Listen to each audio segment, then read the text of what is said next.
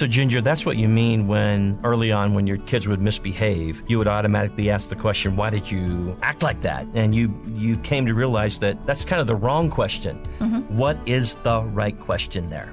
Well, we know that we're all sinners, so we should not be surprised when our children sin because they are sinners.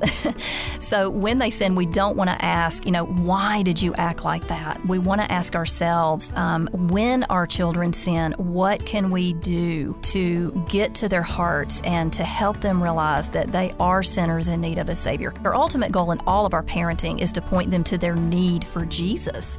And so God uses His Word to convict convict his children. So that's why when our children mess up, we want to use his word in order that they might be convicted. You know, Dr. Dobson, I've heard him say many times the greatest gift that any parent can give to his son or daughter ultimately is to lead them into that personal relationship with God in Christ.